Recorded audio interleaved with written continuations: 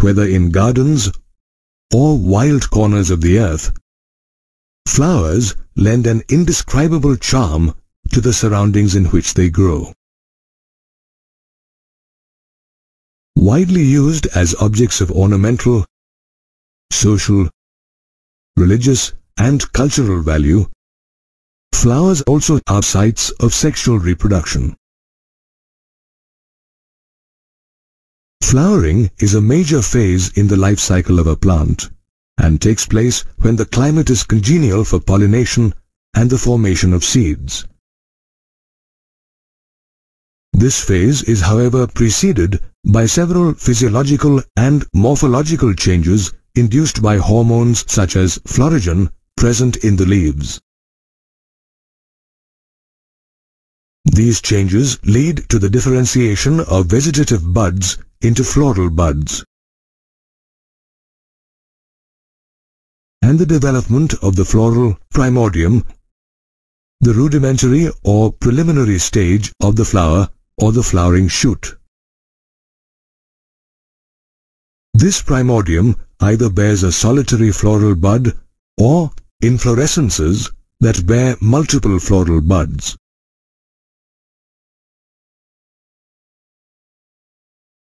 The buds bloom into a flower, a modified shoot with shortened internodes and nodes. From these nodes arise four modified leaf-like structures called whorls, which are arranged on the swollen end of a stalk called the thalamus.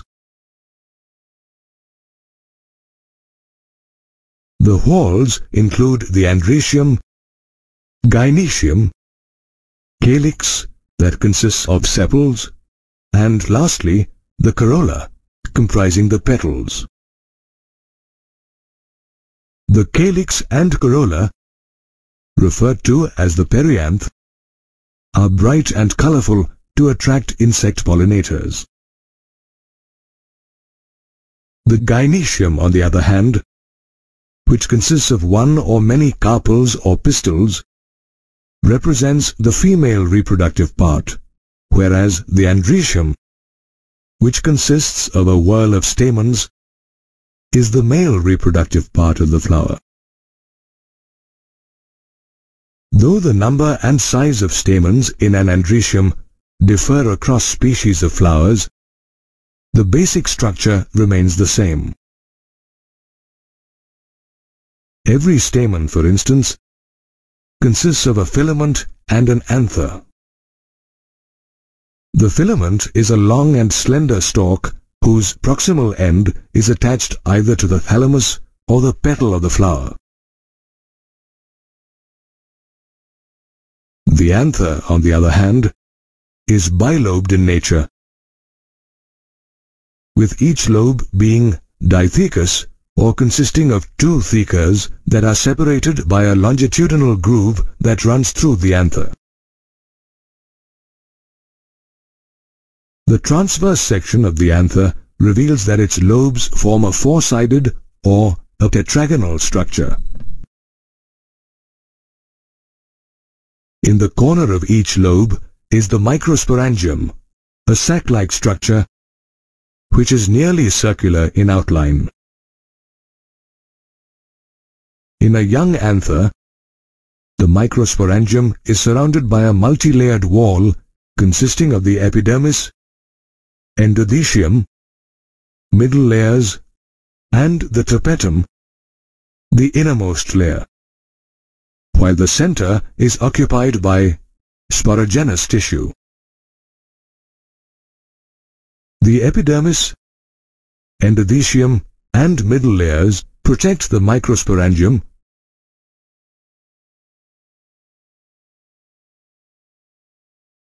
as well as aid in dehiscence, which is the splitting of the anther walls that causes the release of pollen grains. While the tapetum, whose binucleate cells possess dense cytoplasm, nourishes the developing pollen grains, the sporogenous tissue, on the other hand, consists of a group of compactly arranged homogeneous diploid cells called microspore mother cells or pollen mother cells. These microspore mother cells divide meiotically to form haploid microspores which arrange themselves in a tetrad. The process of formation of microspores meiotically from a microspore mother cell is called microsporogenesis. As the anther begins to mature, both the microsporangium and microspores undergo changes. While the microsporangium develops into the pollen sacs that extend longitudinally through the length of the anther, the microspores separate from the tetrad and develop into pollen grains. Thus, the anther contains thousands of pollen grains which undergo mitosis to form two unequal cells. The larger cell, known as the vegetative cell, is characterized by a large irregular-shaped nucleus, vacuoles, and abundant food reserves. While the smaller cell, known as the generative cell, is distinctly spindle-shaped and possesses dense cytoplasm. Moreover, the generative cell floats in the cytoplasm of the vegetative cell. Did you know that the vegetative cell and generative cell represent the two-celled stage of the pollen grain? Later, the generative cell undergoes mitotic division to produce two male gametes. The pollen grain is now said to be at the three-celled stage. After the formation of pollen grains, the endothecial cells lose water which leads to tension in their cell walls. This tension causes the dehiscence or bursting of the anther along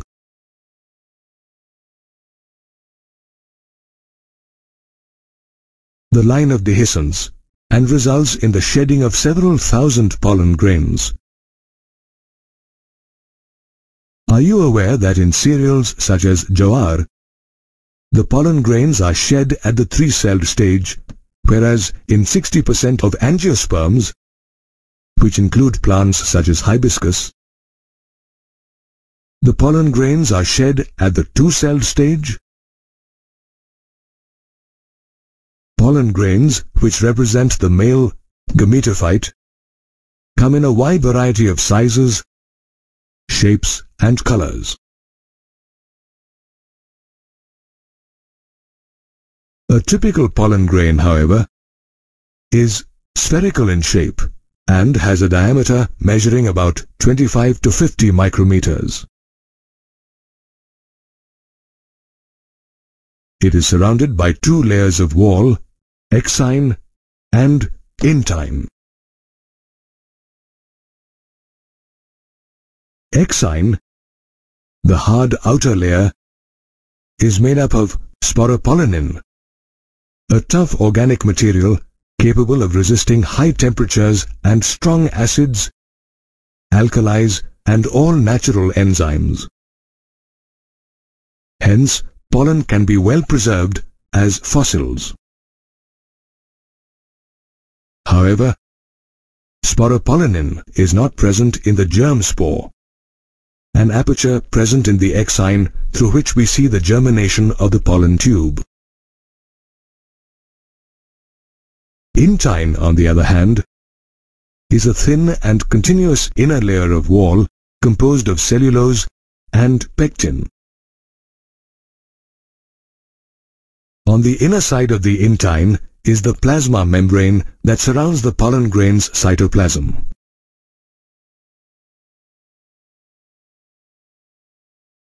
When pollen grains land on the stigma, they germinate into a pollen tube that carries the male gametes towards the embryo sac. This ability of the pollen grain to deliver the male gametes to the embryo sac is called pollen viability. However, factors such as temperature and humidity affect pollen viability. Moreover, pollen grains of different plants have different periods of viability. Pollen grains of cereals such as wheat and rice lose their viability within 30 minutes of their release. Whereas pollen grains of some members of Rosaceae, Leguminosae and Solanaceae remain viable for months. Pollen grains, which play a vital role in plant reproduction, are also often consumed by human beings as they are rich in nutrients. Pollen products, in the form of tablets and syrups, are commonly spotted on shelves of supermarkets. Moreover, pollen is also stored in pollen banks in liquid nitrogen at 196 degrees centigrade. The pollen is later used in plant breeding programs. Pollen grains, however, can trigger allergies in some people and can cause asthma and bronchitis. In fact, the weed carrot grass or Parthenium hysterophorus and its pollen found in non-cultivated lands in Punjab causes allergies such as eczema, dermatitis and other skin diseases. Pollen, formed inside the stamen, plays an important role in plant propagation and also serves as a source of nutrition, although in some cases it may trigger allergies. Flowers are one of the most fascinating sights to behold. Incidentally, flowers also happen to be the site of sexual reproduction as they contain the androecium and gynoecium, the male and female reproductive organs of a plant. You can see many variations in the gynoecium of different flowers. For example, the gynoecium can be monocarpous, consisting of a single pistil or carpel. Or it may be multicarpus, in which case we see several pistils in a single flower.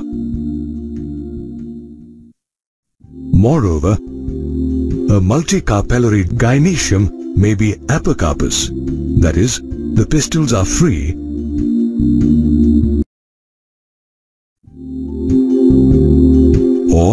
syncarpous, where the pistils are fused. If you observe the structure of a pistil, you will find that it consists of the stigma at the tip, followed by the style in the middle and an ovary at the base.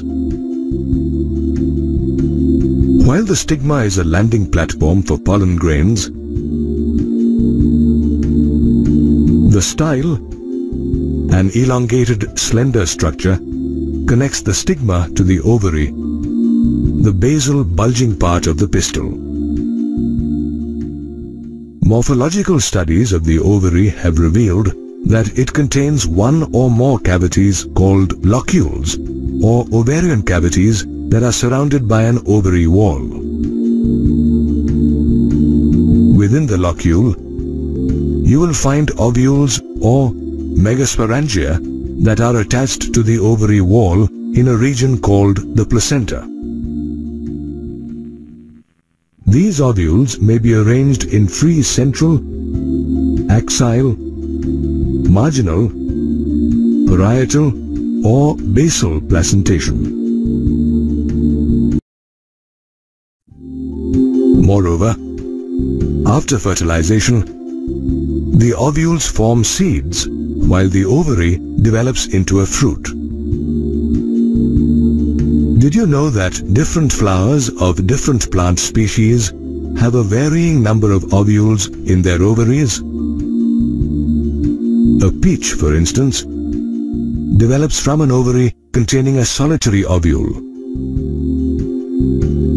A papaya, on the other hand, has several ovules in its ovary, and that's why you see numerous seeds in the fruit when it is split open. The ovule, considered by botanists as the forerunner of the seed, has an oval or egg-shaped body. It remains attached to the placenta by a stalk called the funicle. In fact, the ovule's body fuses with the funicle in a region called the hilum.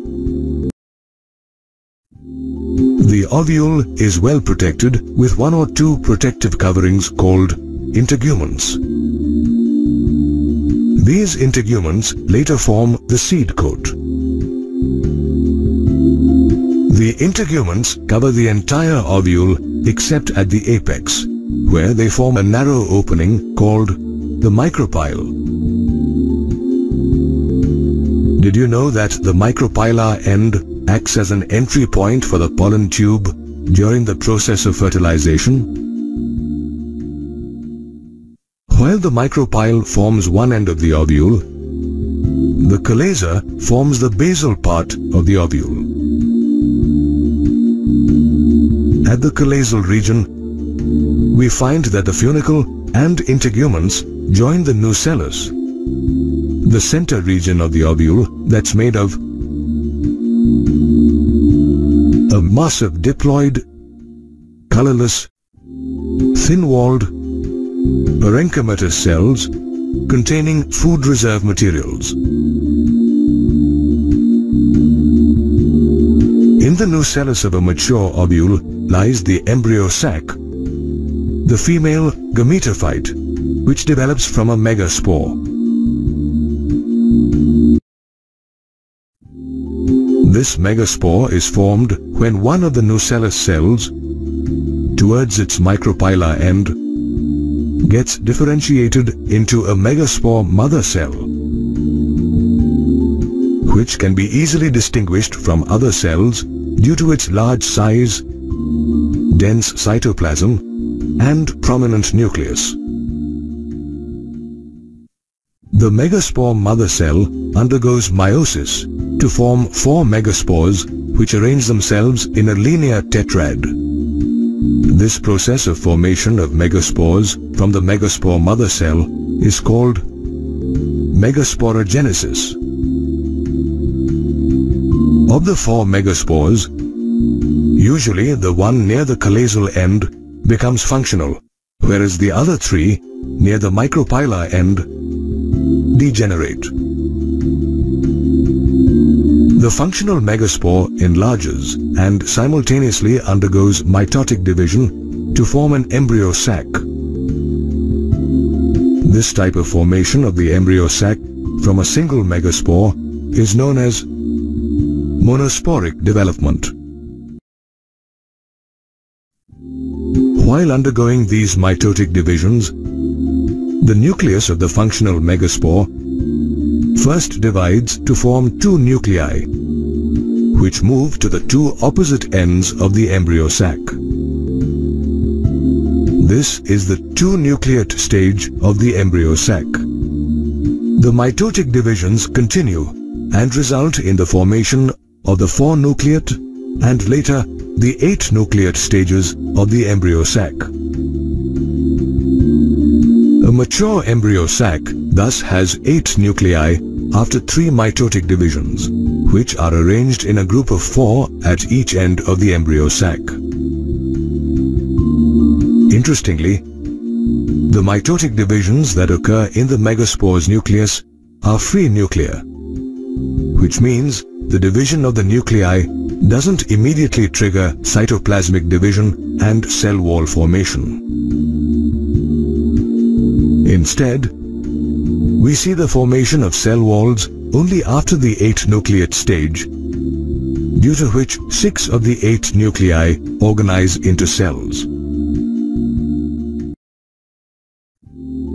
The two remaining nuclei, called polar nuclei, migrate to the center of the embryo sac. Thus, we find the embryo sac to be in seven-celled and eight-nucleate stage with six cells at the poles and a large central cell with two nuclei in the center. Meanwhile, the six cells organize to form the typical structure of the embryo sac, which is now ready for fertilization.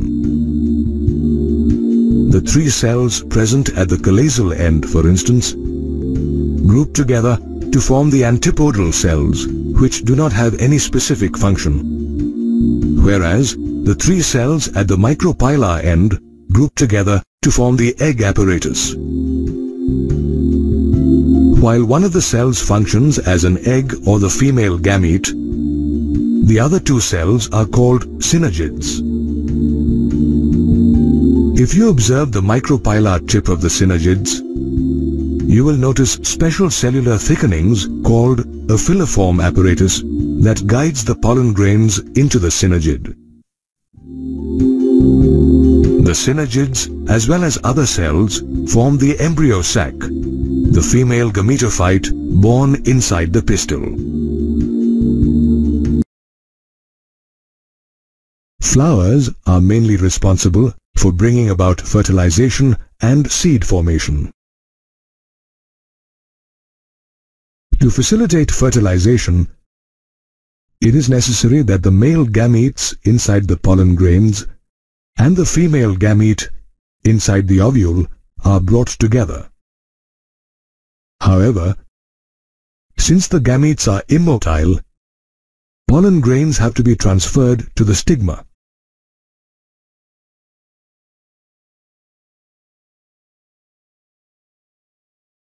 This process of transfer of pollen to the stigma of a flower, brought about by agents such as insects, wind and water, is called pollination.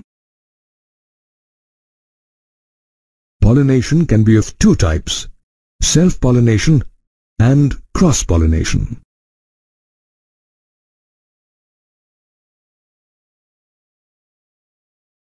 When pollination takes place within the same flower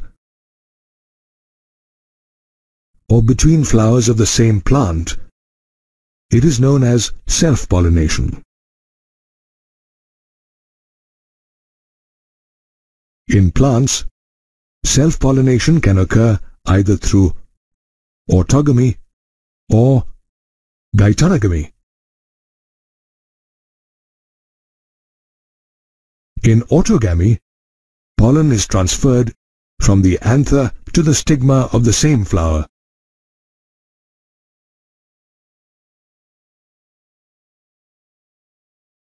and is seen in cleistogamous flowers or flowers which do not open at all. Produced by plants such as viola, oxalis, Commelina, and Arachis hypogaea or peanut.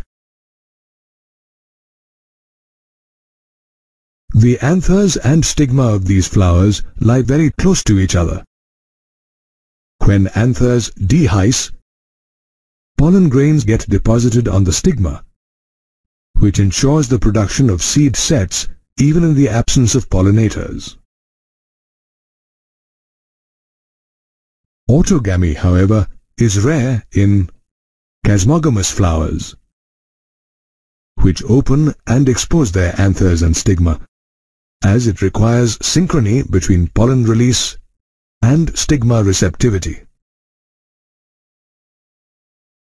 In geitonogamy, the second type of self-pollination, pollen is transferred from the anther of one flower to the stigma of another flower of the same plant. Apart from self-pollination, cross-pollination is also commonly seen in plants.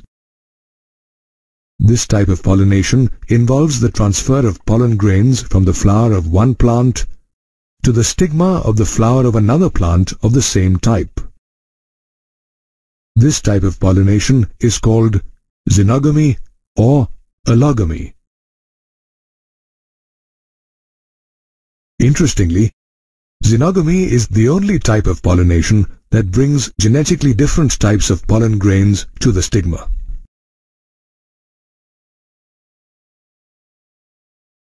In both cross-pollination and self-pollination, pollinating agents play a vital role.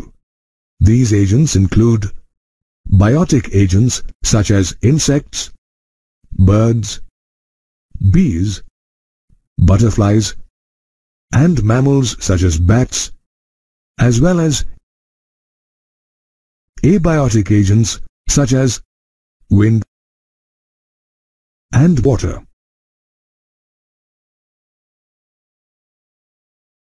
Incidentally, pollination in a majority of plants is aided by biotic pollinating agents, which get attracted by flowers which vary from each other to attract their specific pollinator. Insect-pollinated flowers, for instance, are usually large and fragrant. However, if they are small, they are bunched together in an inflorescence to make them conspicuous. Moreover, these flowers produce pollen grains as well as large quantities of nectar to reward the agents. When a pollinating agent comes in contact with the anther, its body gets covered in a coat of sticky pollen grains. When the agent sits on another flower to suck the nectar, the pollen present on their bodies comes into contact with the stigma, thus completing the process of pollination. Conversely, flowers pollinated by butterflies are usually lightly scented and brightly colored, with nectar not very deeply hidden, while those pollinated by beetles and flies secrete a rotten odor. Flowers pollinated by birds, on the other hand, have large odorless orange or red tubes which are rich in honey. Certain plants attract pollinating insects by offering them shelter. For instance, Amorphophallus, a six-foot-tall flower, attracts pollinating insects by offering them a safe haven to lay their eggs. In the yucca plant, on the other hand, a female moth transfers the pollen of another flower to the stigma and simultaneously deposits her eggs in the locule of the flower's ovary. The larvae, which hatch out of the eggs, start consuming some of the developing seeds while leaving enough of them to propagate the plant. Thus, both the moth and the plant are dependent on each other for the completion of their respective life cycles. However, certain birds and insects such as the bumblebee visit flowers for nectar and pollen but don't bring about pollination. These creatures are referred to as pollen robbers. Honeybees as well as other insects also pollinate a large number of aquatic flowering plants such as the freshwater lily.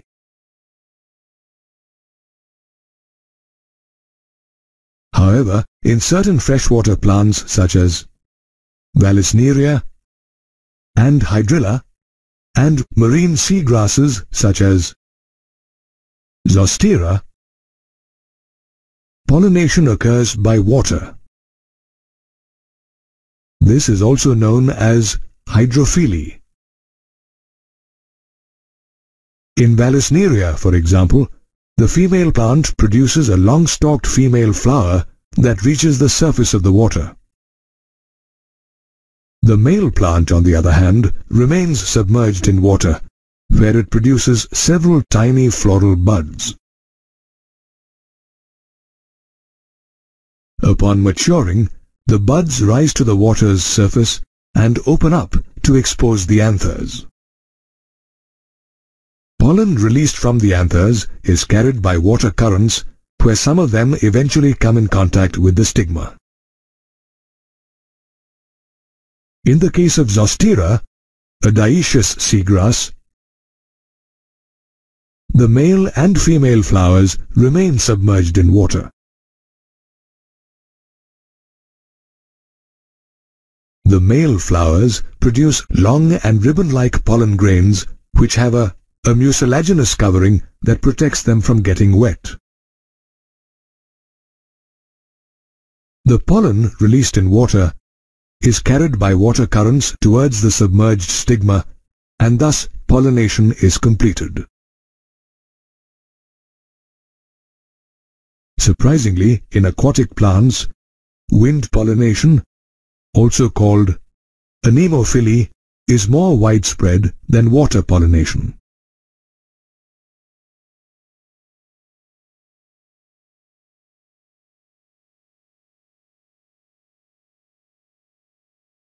Wind pollination also occurs in terrestrial plants such as grass, bamboo, coconut, and maize.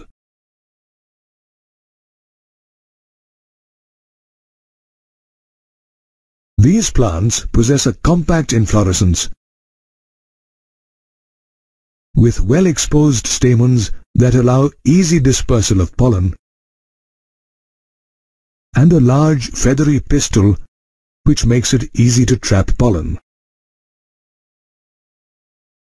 The pollen, which is light and non-sticky, is produced in large quantities. A single flower of cannabis, for instance, produces 5 lakh pollen grains to compensate the loss of pollen associated with wind pollination.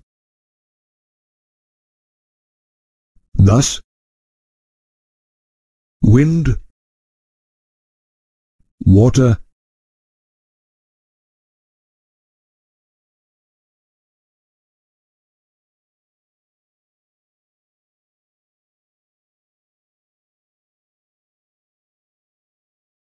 as well as biotic pollinating agents bring about pollination.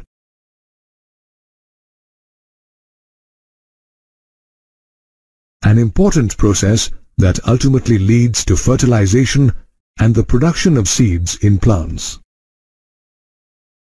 In flowering plants, pollination is an important mechanism that aids in transferring the pollen released from the anther to the stigma of the flower. If the pollen is of the right type, the stigma induces it to germinate and produce a pollen tube.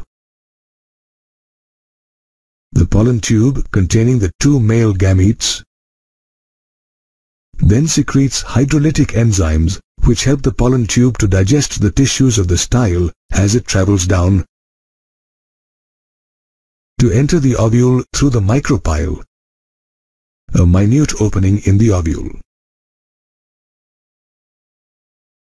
Inside the ovule, the pollen tube encounters the embryo sac, the female gametophyte, containing three antipodals, two synergids, an egg cell, and a central cell with two polar nuclei.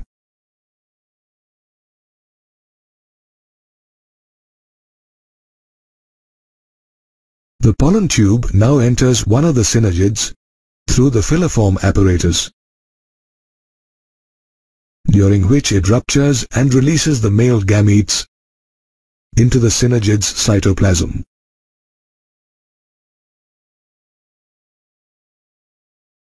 Of the two male gametes, one enters the egg cell and fuses with its nucleus. This fusion, known as syngamy, or first fertilization results in the formation of a diploid zygote.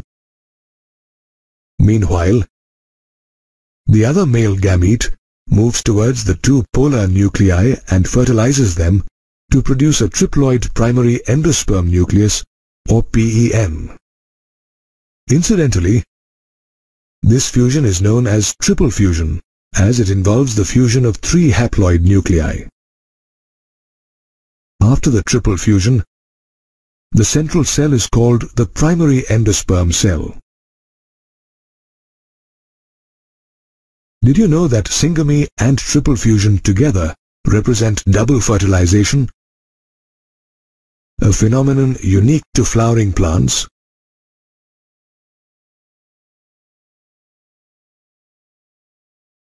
Double fertilization is followed by several post-fertilization events which eventually transform the ovule into a seed and the ovary into a fruit.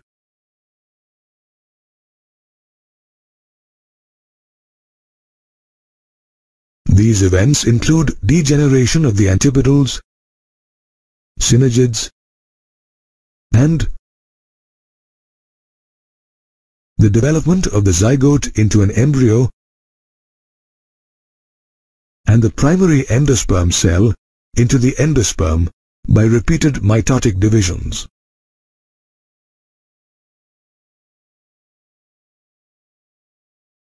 Endospermic development is of three types. Nuclear endospermic development, cellular endospermic development, and helobial endospermic development.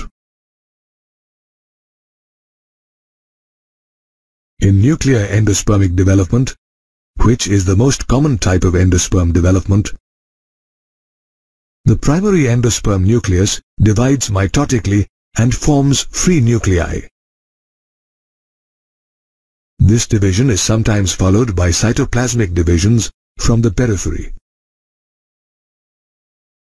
In the case of cellular endospermic development, which is seen in plants such as Utricularia, the division of the primary endosperm nucleus is immediately followed by cytoplasmic divisions.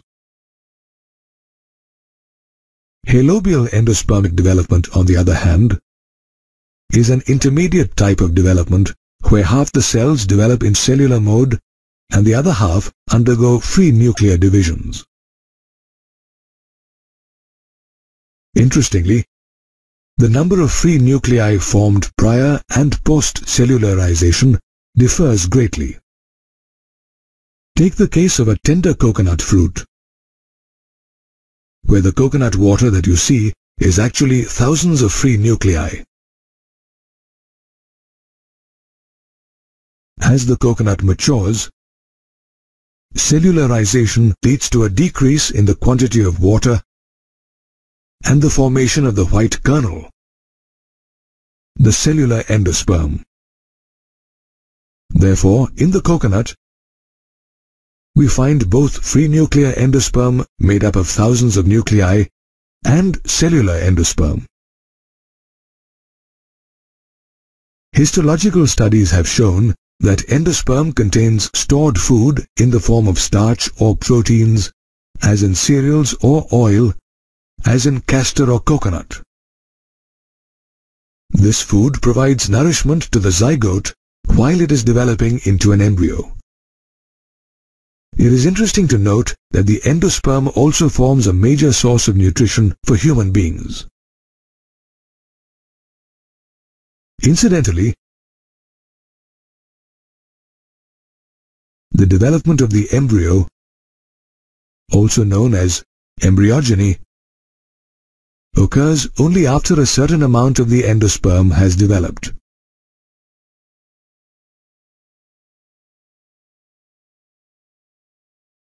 In fact, in some plants, such as groundnut, that belongs to the bean family, the mature seeds lack endosperm, as it gets completely absorbed by the developing embryo. When these seeds germinate, the cotyledons or seed leaves become the source of nutrition for the embryo. However, in mature seeds of castor, we see that the endosperm is retained as a storage tissue. In the case of cereals, the aleurone layer, which forms a part of the endosperm, stores food as well as secretes amylase enzyme for the digestion of stored starch during germination of the seed. Studies by botanists have revealed that during early embryogeny, the zygote divides into two cells. The basal suspensor cell towards the micropylar end and a terminal embryo cell towards the chalazal end. The basal suspensor cell further undergoes mitotic divisions and forms 4 to 8 cells which push the terminal embryo cell into the tissue of the endosperm to allow it to derive nourishment. Moreover, the terminal embryo cell also undergoes divisions to form a group of cells known as proembryo, which subsequently develops into a globular, heart-shaped and torpedo-shaped mature embryo. The structure of a mature dicotyledonous embryo is nonetheless different from that of a monocotyledonous embryo. A dicotyledonous embryo, for instance, consists of an embryonal axis and two cotyledons. The epicotyl, the portion of the embryonal axis above the level of the cotyledons, terminates with the plumule or stem tip. Below the level of the cotyledons is a cylindrical portion called the hypocotyl that terminates at the radicle or root tip which is covered with the root cap. On the other hand, a monocotyledonous embryo, commonly found in the grass family, has only one cotyledon called a scutellum, situated towards the lateral side of the embryonal axis.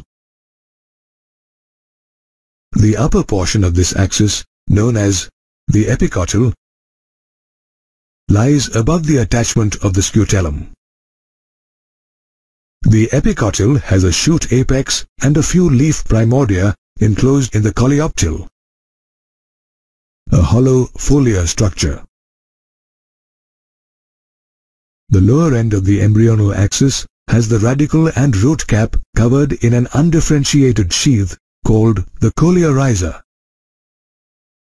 Interestingly, the various parts of the embryo develop differently as the seed germinates.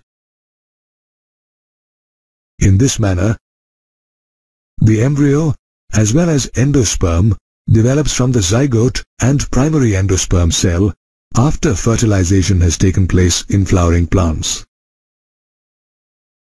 For us, fruit means a mango, papaya, apple or a banana. However, for a botanist, fleshy and juicy mangoes or papayas are as much a fruit as are groundnuts or cashew nuts, which are dry in nature. Fruit, the final product of sexual reproduction, develops from an ovary post-fertilization. Incidentally, in most cases, fertilization and the development of fruit triggers the withering of other parts of the flower, including the sepals, petals, and stamens. However, in some cases like apple, floral parts such as the thalamus become a part of the fruit. Such fruit in which other parts of the flower besides the ovary are involved in the formation of the fruit are called false fruit. On the other hand, fruit like mango and papaya that develop only from the ovary are called true fruit. Interestingly, while mango and papaya develop after fertilization, fruit like banana develop without fertilization and are called parthenocarpic fruit.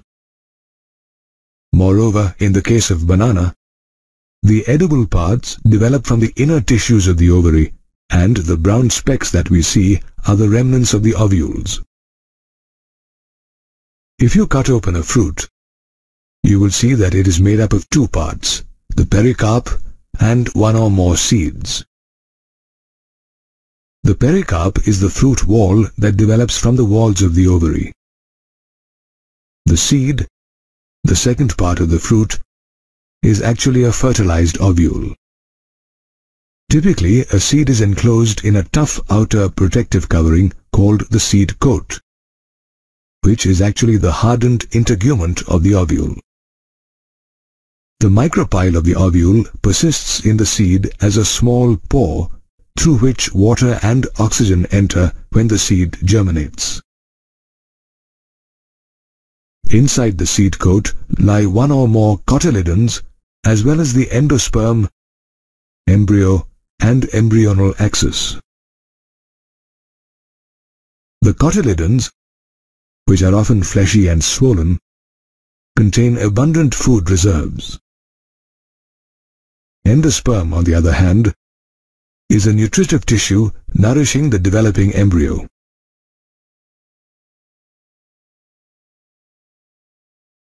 Interestingly, in certain plants such as bean and pea, the developing embryo completely consumes the endosperm. Such seeds that contain no endosperm are called non-albuminous seeds. However, in wheat and maize, a residual endosperm is seen as it is not completely consumed by the embryo during the developmental stage. Such seeds are called albuminous seeds. Sometimes, in addition to the endosperm, seeds also contain remnants of the nucellus called the perisperm that also stores food material. Such seeds are called perispermic seeds. Black pepper is a common example of a perispermic seed. Whether a perispermic or albuminous seed, as the embryo begins to develop, the seed starts to mature and lose its water content to become relatively dry.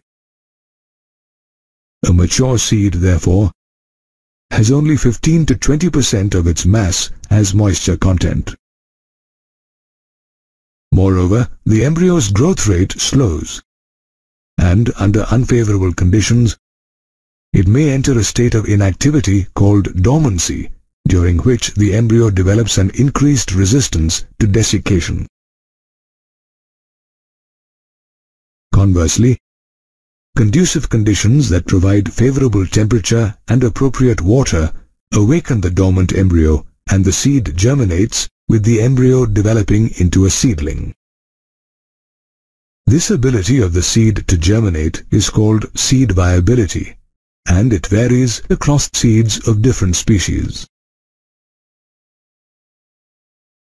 The seeds of spinach, for instance, remain viable only for a year or so, whereas muskmelon seeds remain viable for five years. Did you know that excavations around the Arctic tundra region have led to the finding of seeds of Lupinus arcticus which remained viable for 10,000 years before germinating and flowering.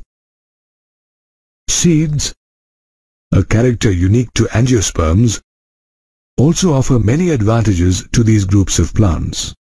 Seeds have special mechanisms such as bursting or wings that help them disperse to new habitats, thereby allowing plants to claim new areas to propagate. In addition, the seed's tough outer coat protects the embryo from hostile environmental conditions. Upon germination, seeds also have a better survival rate as they are guaranteed nourishment by the cotyledons. As seeds are products of sexual reproduction, they help bring about genetic variations within plant species. Genetic variations are the key to evolution and also help plant species adapt and survive in different environments. Seeds, which help in the propagation of angiosperms, also form the crux of agriculture. Interestingly, farmers in recent times have started using hybrid seeds developed through artificial cross-pollination techniques. These seeds guarantee increased productivity and superior crop quality. However, when seeds borne by hybrid crops are sown, the seedlings do not exhibit the hybrid characters due to the segregation of characters. This forces farmers to purchase new hybrid seeds year after year, which is an expensive affair. To address this problem, botanists are trying to understand the genetics of apomixis and transfer apomictic genes into hybrid plants. Apomixis is a form of asexual reproduction in which the seeds or embryos are formed without fertilization. In fact, seeds or embryos either develop from an unfertilized egg which did not undergo meiosis or from the cells of the integument or nucellus. Botanists believe that converting hybrid crops into apomicts will prevent the segregation of characters in seeds produced by hybrid crops and thereby eliminate the need to purchase hybrid seeds every year as the seedlings produced by the apomicts will resemble their parents genetically. Did you know that plants such as grasses and those belonging to the family Asteraceae and Rutaceae are common examples of apomicts? Moreover, in certain apomicts such as Citrus jambhiri, which belongs to the Rutaceae family, The nucellar cells surrounding the embryo sac divide and protrude into the embryo sac. Later, these cells develop into embryos and hence a single seed contains more than one embryo. This phenomenon of having more than one embryo in a seed is called polyembryony. Thus, though we have gained a lot of knowledge about the formation of seeds and fruit, there are many mysteries that scientists are still trying to unlock.